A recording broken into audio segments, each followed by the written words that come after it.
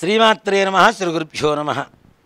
ధరణీగర్భసంభూతం విద్యుత్కాంతిసమప్రభం కుమారం శక్తిహస్తంతం మంగళం ప్రణమామ్యహం.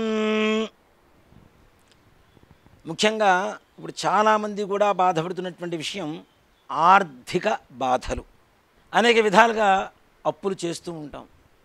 నిజంగా ఈ రోజుల్లో రుణ బాధలు అంటే అందరికీ సర్వసాధారణం. కానీ ముఖ్యంగా చెప్పుకునేటువంటి వ్యక్తుల్లో రైతులు. రైతులు వాళ్ళ పంట కోసం పండించడం కోసం కావలసినటువంటి ఎరువుల కోసమను నారు కోసమను అప్పులు చేస్తూ ఆ పంటలు సరిగా పండక చేతికొచ్చినటువంటి పంటకి సరైనటువంటి ధర గిట్టుబాటు ధరలు లేక వాళ్ళు ఎన్ని బాధలు పడుతున్నారో రైతుల ఆత్మహత్యలు ఎన్ని ప్రభుత్వాలు వచ్చినా కూడాను ఆపలేని పరిస్థితికి వెళ్ళిపోతూ ఉన్నాయి. మనందరం భోజనం చేస్తున్నామంటే నిజంగా రైతుల పుణ్యం. రైతు బాగుంటే మనం బాగుంటాం.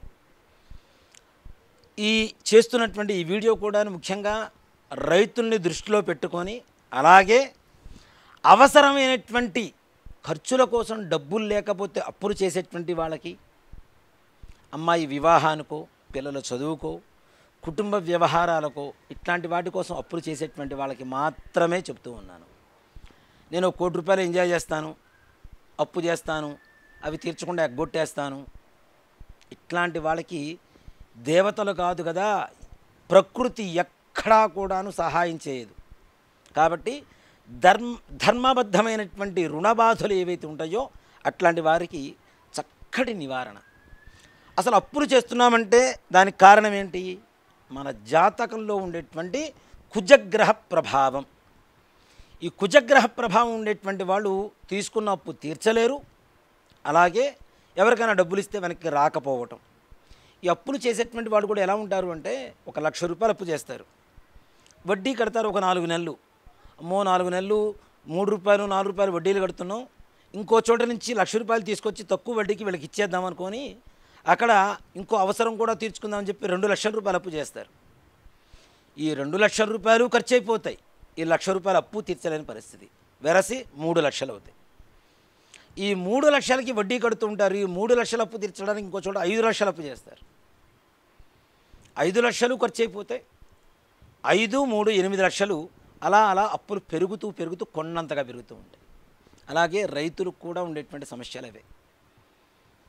కొంతమంది కుటుంబ బాధ్యతల కోసం చేస్తూ ఉంటారు. అమ్మాయి వివాహానికో ఇల్లు కొనుక్కో కొనుక్కోవడానికో ఇల్లు కట్టుకోవడానికో స్థలం కొనడానికో తద్వారా నిదానంగా తీర్చుకుందాము అనేటువంటివి. ఇట్లాంటి వాళ్ళకి చక్కటి పరిష్కారం. ఏదైతే గ్రహం మనకి రుణబాధలు కలుగ చేస్తుందో రుణగ్రస్త నష్టం కలుగ చేస్తుందో ఆ గ్రహమే కుజగ్రహం. కుజగ్రహానికి ఇష్టమైనటువంటి ఒక సమిధలు అంటే నవగ్రహాలకు సంబంధించినటువంటి తొమ్మిది రకాల కట్టెలు ఉంటాయి హోమం చేయడానికి మనకు. సమిధ అంటాం వాటిని అగ్నిలో ఆహుతైపోతాయి కాబట్టి వాటిని సమిధలు అంటాం. మరి కుజగ్రహానికి ఇష్టమైనటువంటి సమిధి ఏమిటి? చండ్రకర్ర చండ్రకర్ర అంటే ఎలా ఉంటుంది అంటే మనం ఎక్కువగా సినిమాల్లో వింటూ ఉంటాం ఈ మాటలు. వాడి కళ్ళు చండ్ర నిప్పుల్లాగా ఉన్నాయిరా అని చెప్పి వింటూ ఉంటాం. చండ్రకర్ర నిప్పు ఎలా ఉంటుంది అంటే ఎర్రగా ఉంటుంది. కుజగ్రహ స్వభావం కూడా అదే. కట్టె కాలక ముందు కూడా కట్టె కూడా ఎరుపు రంగులోనే ఉంటుంది. అంటే రక్త చందనంలాగా ఎర్ర చందనంలాగా ఆ వర్ణంలో ఉంటుంది దాదాపుగా. కానీ చండ్ర వేరు రక్త చందనం వేరు. ఈ చండ్రకర్ర కుజుడికి ఇష్టమైనటువంటి ఒక సమిధ. మంగళవారం రోజున ఈ సమిధలు తెచ్చుకోండి. చిన్న చిన్నవి పెద్దగా వద్దు. పెద్ద పెద్ద పుల్లలు వద్దు. లేదు వాటిలో చిన్న చిన్న వాటిగా విరుచుకోండి. కట్ చేయండి. రంపంతో అయినా కట్ చేయండి. దాని మీద మంగళవారం మధ్యాహ్నం మూడు గంటల నుంచి నాలుగున్నర గంటల వరకు రాహుకాలం మనకి ప్రతి మంగళవారం వస్తూనే ఉంటుంది. ఆ సమయంలో ఈ చండ్ర కట్టె ఒకటి తీసుకొని దాని మీద మీకు ఉండేటువంటి మొత్తం సంఖ్య ఒక చోట పది లక్షలు ఒక చోట రెండు లక్షలు ఇంకో చోట మూడు లక్షలు వెరసి పదిహేను లక్షలు. ఇంకో చోట పద్నాలుగు లక్షలు ఇంకో చోట ఇంకొకళ్ళకి ఇరవై లక్షలు మొత్తం కలిపి ముప్పై నాలుగు లక్షలు. మీకు ఉండేటువంటి అప్పు ఏదైతే ఉంటుందో మొత్తం టోటల్ నెంబర్ ఏదైతే ఉంటుందో మొత్తం మీద సంఖ్య ఆ సంఖ్యని ఈ చండ్ర కట్టె మీద మార్కర్తో రాయండి. చక్కగా తెలుగులో రాయకుండా మామూలుగా నెంబర్ వేస్తూ రాయండి. రాసి ఒక చిన్న బౌల్ తీసుకోండి స్టీల్ది కానీ ఏదైనా సరే గాజుదొద్దు స్టీల్ది తీసుకోండి. లేదా ఇత్తడి గిన్నె కానీ ఇట్లాంటివి ఏమైనా గిన్నెలు ఏమైనా తీసుకోవచ్చు. ఈ కట్టె మీద ఈ మంగళవారం మధ్యాహ్నం మూడు గంటల నుంచి నాలుగున్నర గంటల వరకు ఉండేటువంటి రాహుకాల సమయంలో ఈ కట్టె మీద రాసి దాని మీద కర్పూరం పెట్టి కిరోసిన్ పోసి ఈ కట్టెను కాల్చడం మొదలుపెట్టండి. కట్టె ఎలా కాలాలి అంటే చివరి వరకు కూడాను ఎక్కడా మిగలకుండా శేషం లేకుండా మొత్తం పూర్తిగా కాలిపోవాలి. కాలిపోయిన తర్వాత అది కొంచెంసేపటిగా నిప్పు నుంచి బూడిద వస్తుంది. భస్మం. ఈ భస్మాన్ని ఎక్కడా ఇంట్లో పడకుండా కింద పడకుండా ఆ గిన్నెలో ఉండేటువంటి భస్మాన్ని ఒక కవర్లో వేసుకోవడం కానీ ఒక క్లాత్లో కట్టుకోవడం కానీ ఇంకా ఎర్రటి వస్త్రంలో కట్టుకుంటే ఇంకా విశేషమైనటువంటి ఫలితం వస్తుంది.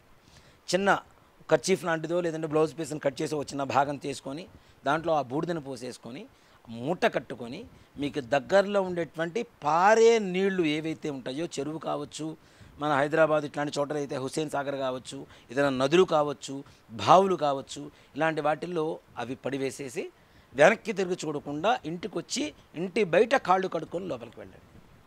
ఇలా ప్రతి మంగళవారం ఒక మూడు మంగళవారాలు ఐదు మంగళవారాలు నియమం పెట్టుకొని కుజగ్రహానికి మనస్సులో ధ్యానం చేసుకొని నా రుణం తీరిపోవాలి అని చెప్పి మనస్ఫూర్తిగా కుజగ్రహానికి పరమేశ్వరుడికి నమస్కారం చేసుకొని ధ్యానం చేసుకొని సంకల్పం చెప్పుకొని యొక్క చండ్రకట్ట మీద మీకున్నటువంటి అప్పు సంఖ్య మొత్తాన్ని రాసి కాల్చి ఆ భస్మాన్ని ఎర్రగుడ్డలో కట్టేసి ఎప్పుడైతే ఆ పారే నీళ్ళలో కానీ బావిలో కానీ చెరువులో కానీ నదిలో కానీ పారవేస్తారో ఐదు మంగళవారాలు అయ్యేసరికి మీకు ఒక్కసారిగా వంద కోట్లు చేపడతాయని చెప్పి నేను చెప్పడం లేదు. అప్పులు తీరేటువంటి మార్గం భగవంతుడు మనకు చూపిస్తాడు తప్పనిసరిగా. కుజగ్రహ అనుగ్రహం కలుగుతుంది. ఇక్కడ మీరు చేస్తున్నది ఏమిటి? చండ్రకట్టెను కాలుస్తున్నారు అంటే కుజగ్రహానికి ఆ యొక్క సమిధతో హోమం చేస్తున్నామని పరమార్థం. రాహుకాలంలో కుజగ్రహానికి హోమం చేయడం ద్వారా తప్పనిసరిగా తొందరగా అనుగ్రహించేటువంటి అవకాశం ఉన్నది కాబట్టి యొక్క పరిహారాన్ని చేయండి. అందరూ కూడాను రుణబాధ నుండి విముక్తి పొందండి. నిజంగా ప్రశాంతంగా ఉండండి. రైతులందరూ కూడా ఈ యొక్క అవకాశం ఉన్నటువంటి ప్రతి ఒక్కరూ ముఖ్యంగా ఇట్లాంటి చండ్రకట్టెలు ఇవన్నీ కూడా చాలా చోట్ల దొరకట్లేదు. కొన్ని కొన్ని పూజా స్టోర్స్లో దొరుకుతూ ఉంటాయి. లేదా ముఖ్యంగా పల్లెటూళ్ళలో విలేజెస్లో బాగా దొరుకుతాయి. రైతులకి తొందరగా రుణమా అంటే రుణం తీరిపోవడానికి మంచి అవకాశం ఇలాంటి పరిహారం చేయడం ద్వారా మీ సిటీలో దొరక్కపోతే పల్లెటూరులో తెలిసిన వాళ్ళ దగ్గర నుంచి తెప్పించుకోండి. ఈ పరిహారం చేయండి. రుణబాధ ఉంది విముక్తి పొందండి. అందరూ కూడాను పరమేశ్వర అనుగ్రహానికి పాత్రులు కండి. శ్రీమాత్రే నమ. శ్రీ గురుభ్యో నమ. ఈ వీడియో కనుక మీకు నచ్చినట్లయితే లైక్ చేయండి షేర్ చేయండి. మరిన్ని వీడియోస్ కోసం మా ఛానల్ని సబ్స్క్రైబ్ చేయండి. మీ అభిప్రాయాలు మాకు కామెంట్స్ రూపంలో చెప్పండి. మరిన్ని వీడియోస్ కోసం మా ఛానల్ని సబ్స్క్రైబ్ చేయండి.